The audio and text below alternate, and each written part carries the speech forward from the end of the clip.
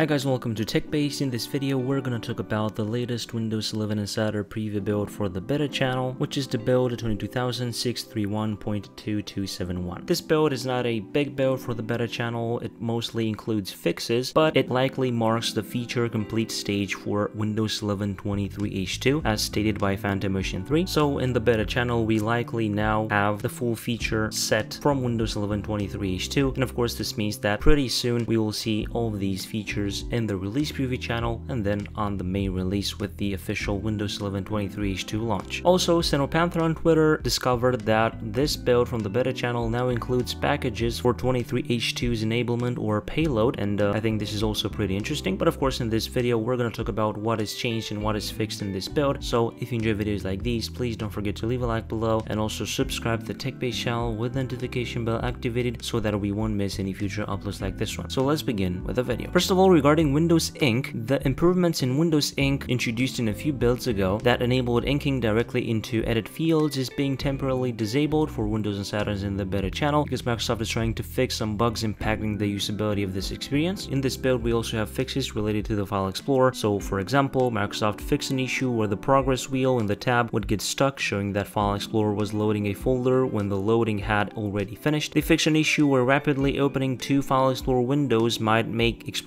Crash. They fixed an issue which could make Explorer.exe crash when navigating away from home. Also an issue where trying to open gallery after new images had been added might result in a crash was fixed. Made a few more fixes to help improve File Explorer launch performance, including fixing a leak which would impact performance over time. They also fixed an issue where File Explorer sorting changes wouldn't persist in folders after you navigated away and back. They also fixed an issue which could cause the icons in the File Explorer tabs to be incorrect. Regarding Windows Copilot, Microsoft fixed an issue that was causing the Windows Windows Copilot icon in the taskbar to be flipped backwards for right to left languages. Regarding input, they fixed the high-hitting TabTip.exe crash that may have impacted the ability to type in the last couple flights. Regarding taskbar settings, they fixed an issue where switching search to be an icon in taskbar settings could cause Explorer.exe to crash. Regarding disk drives, they fixed an issue where it wasn't possible to paste a folder path to mount into the dialog when creating a new dev drive. Regarding Task Manager, they fixed an issue that could cause Task Manager to crash when using the end task option in the details page in recent builds. Regarding HDR wallpapers, they fixed a sporadic Explorer.exe crash related to the use of an HDR wallpaper, and they also fixed an issue where trying to take window mode screenshots was taking screenshots of the entire screen instead of the app in focus for some insiders. In this build, we also have an update for the Microsoft Store, so you can just go ahead into Microsoft Store library and then get updates to get all the latest updates, but basically we have a new Game Pass page, which will allow you to explore and subscribe to PC Game Pass or Game Pass Ultimate through the new dedicated page. And this is pretty much all there is to it in the beta channel. If you enjoyed the video, please don't forget to leave a like below and also subscribe to the TechBased channel with the notification bell activated so that you won't miss any future uploads like this one. I was Manuel from TechBased. Until next time, have a nice day.